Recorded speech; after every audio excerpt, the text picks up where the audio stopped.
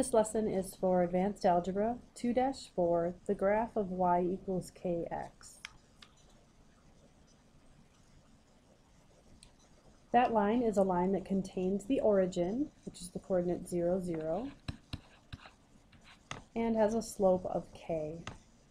Slope is our main focus today, so there's quite a few pieces of notes here for students to take note of. The slope is typically described as the rise over the run. The rise, think about rising in the morning, you get up, and when you run, you typically run across or horizontally. So it's vertical over horizontal. Mathematically, you'll calculate it using two coordinates. You'll take the y values and subtract, the x values and subtract, and then divide the results. Important for students to keep in mind which direction you're going when you're doing slope or rate of change. The top number, if it's positive, means you'll move up. Top number, if it's negative, means you'll move down. On the bottom of the slope, the positive number will mean you're moving to the right, which is abbreviated here, RT. If it's a negative number on the bottom, you'll move to the left.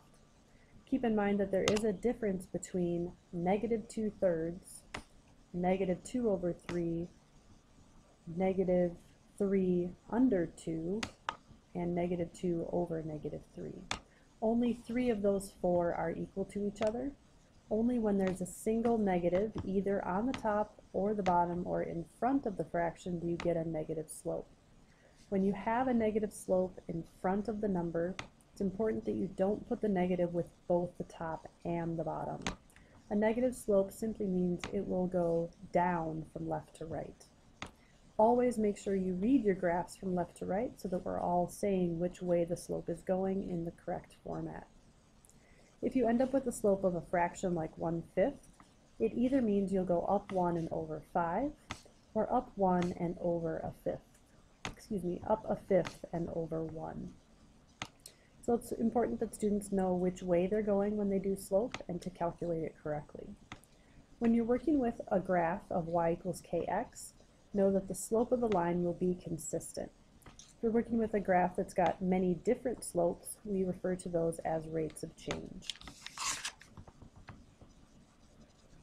So it's important for students to be able to recognize which graph has more of a steeper slope. So in this first example, example A, we've got 2x and 3x. Which one will be more steep? If you're not sure, you can go ahead and graph those two on your graphing calculator and you'll see that the one with the higher slope is going to be more steep. So you want to analyze the slope. And remember that that slope is the number next to the x. And the highest one is going to be the one that's more steep. What gets tricky for students is when they have to compare fractions. So it's important here to recognize which fraction is the greater fraction, which one is larger if you think about dividing something into half or dividing something into thirds, the division of the half will be larger. So the half actually has more steep of a slope. You'll go up 1 over 2, which will be more steep than going up 1 over 3. When you're comparing whole numbers and fractions, hopefully that's very clear that the bigger slope here is obviously going to be the whole number. There's more questions similar to that in the homework for students to practice. Students also need to be able to recognize slope when it's involved in a word problem. Let's look at this one. Percents are used to measure steepness or the grade of a road. A 2% grade means that for every 100 feet of horizontal distance, the road will rise 2 feet. Find the grade of a road that rises 50 feet in a horizontal distance of 2,000 feet. First, let's draw a picture of the information that they give us. For every thousand feet, excuse me, hundred feet that you're going across, the road will rise two feet. Please excuse the fact that my drawing here is definitely not accurate to scale. So the percent is going to be indicated right here in terms of how slanted our line or our road would be. This would be indicated by 2%. The 2% came from us doing the rise over the run, because that's how you calculate slope. So if you do the rise, which was 2, over the run, which was 100, you divide that, you will get 0.02, which is the same as 2%. So we're going to utilize that same type of thinking to answer the question. So let's draw our road with the rise and figure out the grade or the percentage. So the road rises 50 feet, so that's going to be the vertical component. And then it will have a horizontal distance of 2,000 feet. So we want to go ahead and do the division here, rise over run, 50 divided by 2,000, and that will tell us the percent of grade of the road. When you divide that out, I believe you get 2.5%. It'll be 0.025. When you turn that into a percent, it's 2.5%. So this one would actually be more steep than the one that they gave us originally.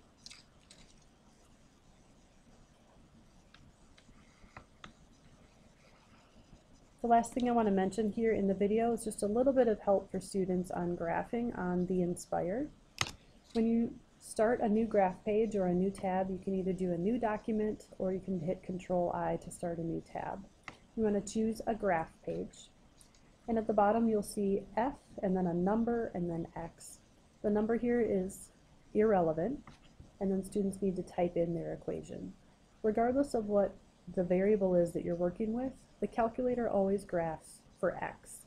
So if you're working with a function that says f of t, for example, and we want you to graph t squared, you would always type it in as x squared instead. The calculator will not recognize any other variable other than x. If you need to graph more than one function at a time, you'll have to hit the tab key so that you can enter more functions. So there are some situations in this lesson that ask students to graph. So let's do a few of those together. I'm going to pull up my calculator here. I already started a new graph page. And I'm going to type in 4x and have the calculator graph that for me. And so I can see my first function is there. Now to get an additional function to be graphed, I simply hit the tab button. And now I'm going to type in 1 fourth x. A reminder to students to get the fraction button, you hit control and then divide.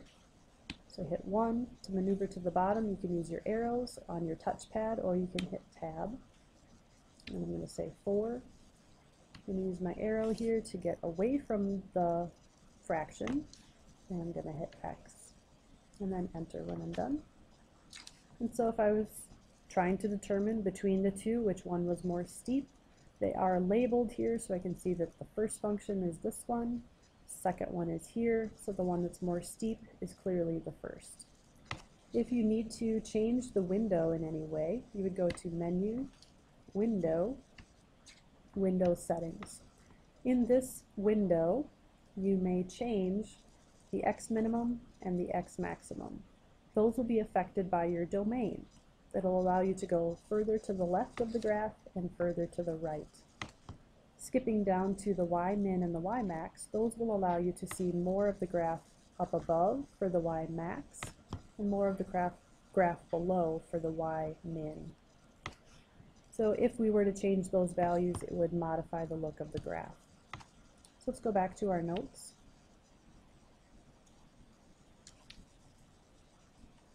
So just again to help students a little bit further with their graphing issues, your domain will be affected in the window settings by Xmin and Xmax, the range by Ymin and Ymax.